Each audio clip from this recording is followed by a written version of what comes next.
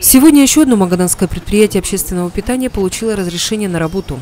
Центре города после проверки комиссии из регионального министерства сельского хозяйства открыли кафе «Мороженое». Из-за распространения коронавируса кафе и рестораны в Магадане закрыли, они могли работать только на доставку.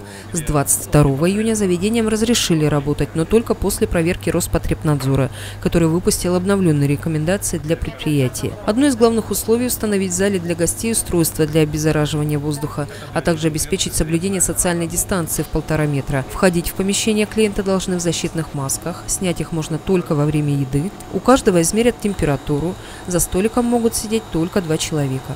А с малышами можно сидеть вместе, учитывая, что это одна семья, они, в принципе, дома находятся в таком же тесном контакте, поэтому тем, кому не возникло замечаний, выдают акт обследования, который позволяет начать работу, а также включает в реестр предприятий, прошедших проверку. Сейчас в нем 70 заведений – ресторанов, кафе, баров и шашлычных. Мы обращаем особое внимание при данном мониторинге, чтобы э, наличие средств индивидуальных защи... Э, индивидуальной защиты, такие как маски, перчатки, они присутствовали на э, работниках предприятия в обязательном порядке, то есть чтобы соблюдались эти требований ими и проводилась в обязательном порядке обработка тех помещений, столов, ручек непосредственно каждые 2-3 часа. Еще 90 предприятий в городе должны открыться в ближайшие дни.